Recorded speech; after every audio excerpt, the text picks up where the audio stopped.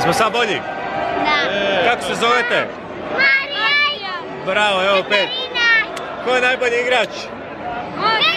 Bravo.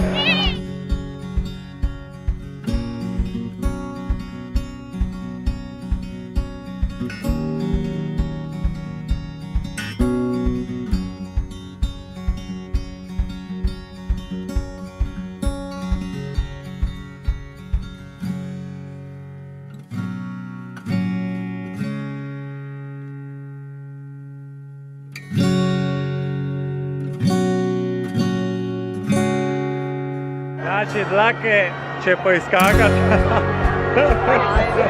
Dlaka nema više, gotovo.